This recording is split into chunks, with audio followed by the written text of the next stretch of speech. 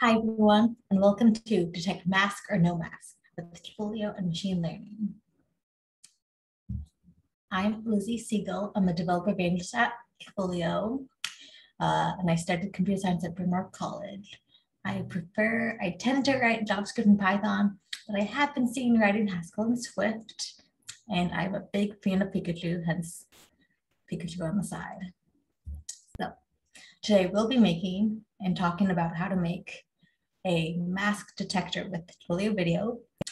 Uh, here we have a Twilio Video application. You can see me, and it asks, are you wearing a mask? And it will respond with no or yes, and a uh, percentage confidence in that yes or no. So right now, it's not confident wearing a mask, put on the mask, and it's more confident, 0.99, very, very specific. What will we be going over today? We'll be going over Intro to ML5.js, the machine learning library for JavaScript. And you could use this library to detect uh, and classify other things, like is someone holding a banana or wearing a hat? Wearing a hat, yes, no.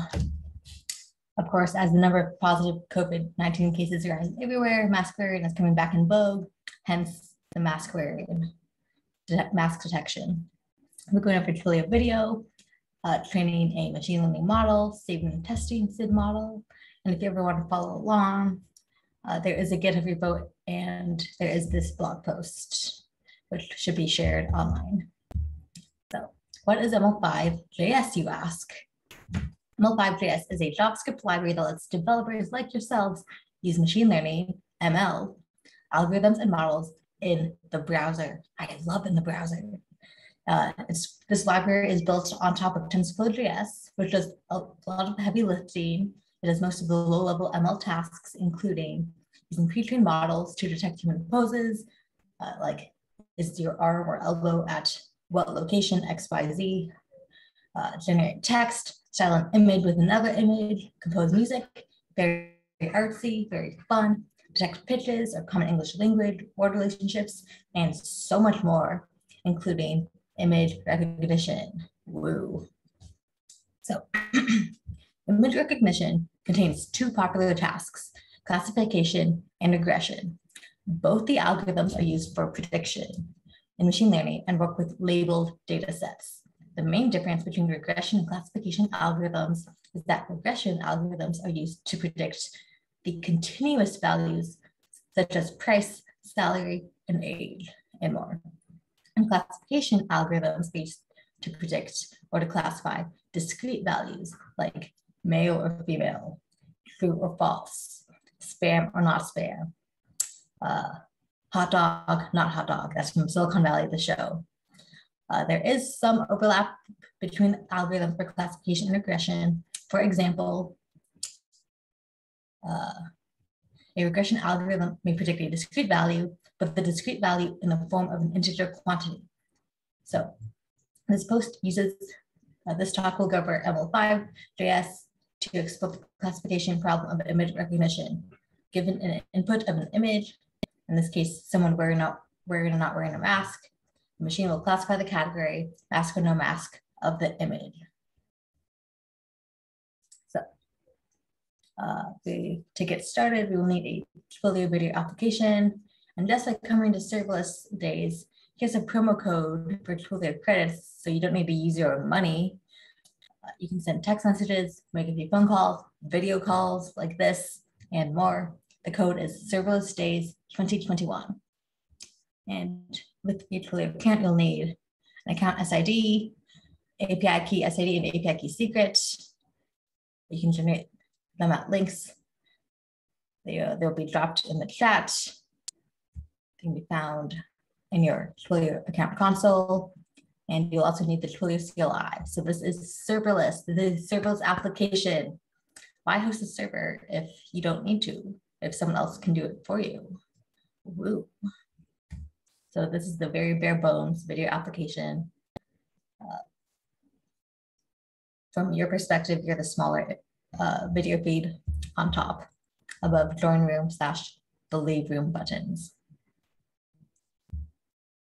Uh, with this application.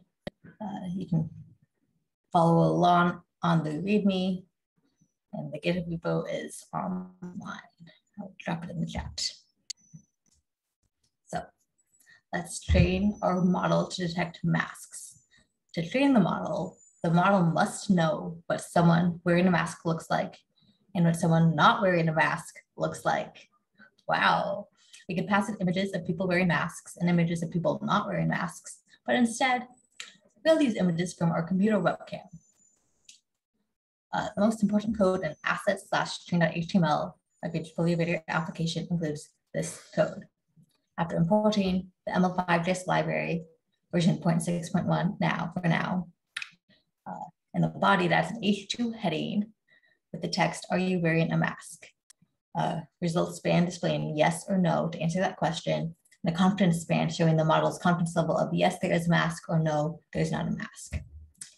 Uh, we have a video element used to both train new data and also predict whether or not a mask is being worn. These buttons with IDs no mask button and mask button will add new image data to the model, while the train button trains the model. Naming things can be hard sometimes, but the train button trains the model. And the predict button begins running the model on the video feed to predict if mask is detected. If you like the results of the model, if you think it's accurate, you can save the model to the assets folder by clicking the button that says save model to assets folder. Uh, in this new file, assets train.js, this following code declares variables and accesses the DOM elements from the HTML file. Also defines the video element source as the computer video camera and makes a feature extractor object from a MobileNet model in ML5.js, which uses feature extraction, feature extraction on images, among other ML tasks involving classification. The code calls the classification method of ML5.js on the feature extractor object, setting the input source of the classifier object as the video element, the video feed from your uh, web, computer webcam. This means that whatever appears on the camera acts as the input to the classifier. We also add buttons to train the model after the, the user adds images. Those train buttons train the model with the images added above from the video camera. Once training begins, the DOM displays the loss value in the loss span. The lower that value is, the greater the accuracy. Eventually, decreases closer and closer to zero and the training process is finished when loss value becomes null. If the model is not very accurate, you may need to add more images to the model. Otherwise, you can save the model by clicking the save button, which calls feature extractor.save to save the model. And this is how we actually classify the image with our predict button and save model button. And this code is all on GitHub, which I will drop in the chat, or organizers of serverless days will drop in the chat. So the model will return a yes or no label in addition to the confidence level of the classification prediction to reflect how confident the model is a mask is in the video feed. The closer the number is to zero to one, the more sure, the more confident the model is. The classification method is called over and over in the background so that the model is constantly predicting if someone is wearing a mask or not. Constantly. Wow. So a model has been built and we have to use it in a different web page of the Twilio video application. We edit spans to reflect the no and yes mask labels and confidence levels and a button to detect mask wearing. Add a button to the Twilio video app so that when they, a person joins the room, the model is loaded. Model.json is the model saved. This code should look familiar from before when we were training the model, making the model. This calls the classify method on the video feed and displays confidence level regarding yes or no with a mask being worn. The only difference is that this is using the saved model that we already trained. And here is the finished piece. We're in a video application room using a trained model. Fairly accurate, not perfect, but if you want it to be perfect, add more training data. So in summary, what did we talk about? Uh, ML5JS lets you detect coders, generate text, make music, perform image recognition, and you can train an ML5JS model to detect other things, like if you're wearing a hat or holding a banana. I did try to train the model to detect if a mask was being worn incorrectly, like if it was showing my nose or had a hole in it, but the detection was not as accurate. It most likely needed more training data. Uh, we went over regression versus classification. Regression algorithms predict the continuous values, such as price, salary, and age. And classification algorithms predict or classify more discrete values like male or female, true or false, spam or not spam, hot dog, not hot dog. And MobileNet lets us quickly create an image classifier. You will see MobileNet not just in ML5JS, but in other machine learning uh, tools, ecosystems, libraries like TensorFlow. Uh, here are some links to help you, like GitHub, Gitbo, this blog post, and the promo code. I'm Lizzie. I'm a developer evangelist at Twilio. Thank you so much for tuning in and have a great rest of the conference. Uh, yeah.